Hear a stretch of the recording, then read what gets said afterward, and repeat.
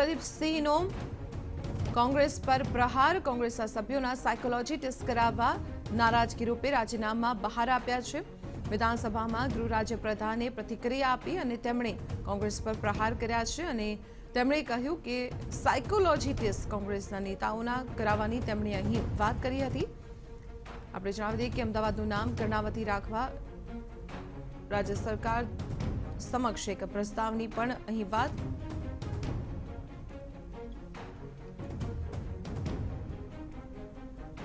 ત્યારે સમગ્ર મામલે વધુ વિગતો મેળવીએ. સંવાદદાતા કિંજલ દવે પાસેથી કિંજલ કિંજલ મિશ્રા પાસેથી. કિંજલ, જે પ્રકારની જાણકારી સામે આવી છે, અનેક મુદ્દાઓ બજેટ સત્ર દરમિયાન ચર્ચાશે કેટલાક આક્ષેપ પ્રતિ આક્ષેપ પણ થશે. વિરોધ પક્ષ પણ અનેક મુદ્દાઓને લઈને સરકારને ઘેરવા તૈયાર છે. ત્યારે કઈ રણનીતિ સાથે સરકાર આજે આ બજેટ સત્રની જે શરૂઆત કરવા જઈ રહી છે?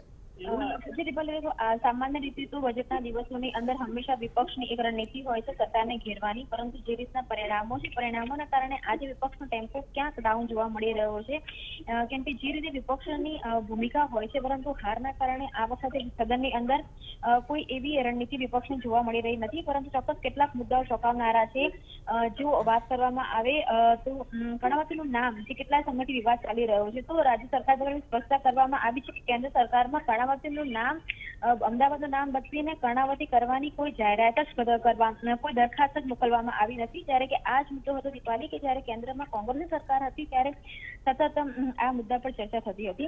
બીજો એવો મહત્વના જે પ્રશ્નોત્તરી કાળ ચાલી રહ્યો છે એક કલાકનું, તેમાં જે બીજો મહત્વનો મુદ્દો આવ્યો એ દારૂનો આવ્યો. દારૂબંધીના કડક કાયદાની વચ્ચે પણ ત્રણ પોઈન્ટ પાસઠ કરોડના દેશી દારૂની રેલમછેલ અહીંયા જોવા મળી છે.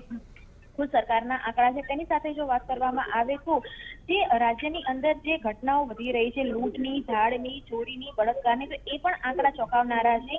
રાજ્ય સરકારના જ આંકડાની માનીએ તો છેલ્લા બે વર્ષમાં ચૌદસો ને ચુમ્માલીસ ખૂનની ઘટના બની છે, જ્યારે ત્રણસો ને સિત્યોતેર ધાડની જ્યારે એકવીસ હજાર નવસો ને પંચાણું ચોરીની ઘટનાઓ બની છે. એટલે આ પ્રમાણે ઇન્ડસ્ટ્રીયલ પાર્કની લઈને પણ સવાલો અહીંયા ઊભા થયેલા છે. એટલે પ્રશ્નોત્તરી કાળમાં અનેક જે મુદ્દાઓ છે, પ્રજાસ્પર્શીના તે મુદ્દાઓ પર અહીંયા હાલમાં સરકારના જે જવાબ આવી રહ્યા છે તે કાયદા અને વ્યવસ્થાને લઈને ચોંકાવનારા છે. બીજી તરફ અગિયાર વાગ્યાની બાદ તરત જ વિધાનસભાની અંદર ડેપ્યુટી સીએમ અને નાણાપ્રધાન નીતિનભાઈ પટેલ પોતાનું બજેટ રજૂ કરવાના છે. તેમણે જાતે એવું કહ્યું છે કે જ્યારે લોકોએ મત આપ્યો છે અને પ્રજા તેમની પર વિશ્વાસ મૂક્યો છે ત્યારે તેમની જવાબદારી વધી રહી છે. પરંતુ સૌની નજર છે કે પેટ્રોલ, ડીઝલમાં જે સ્ટેટના સ્ટેટની એક્ટ હોય છે તે કેટલી વધારવામાં આવે છે કે ઘટાડવામાં આવે છે.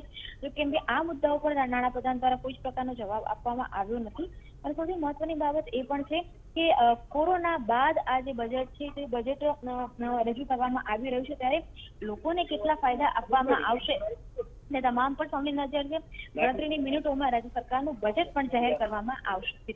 જી, કિંજલ, આભાર માહિતી આપવા બદલ. તો આપણે જણાવી દઈએ કે વિધાનસભામાં અત્યારે પ્રશ્નોત્તરી કાળ ચાલી રહ્યું છે. થોડી વારમાં નાણાપ્રધાન નીતિન પટેલ બજેટ પણ રજૂ કરવાના છે. પરંતુ જે પ્રશ્નોત્તરી કાળ ચાલી રહ્યું છે તે દરમિયાન અનેક ચોંકાવનારા મુદ્દાઓને લઈને ચર્ચા ચાલી રહી છે. અમદાવાદનું નામ જે કર્ણાવતી રાખવા માટે રાજ્ય સરકાર દ્વારા કોઈ જ દરખાસ્ત ન કરાઈ હોવા- હોવાની વાતનો અહીં ખુલાસો થયો છે.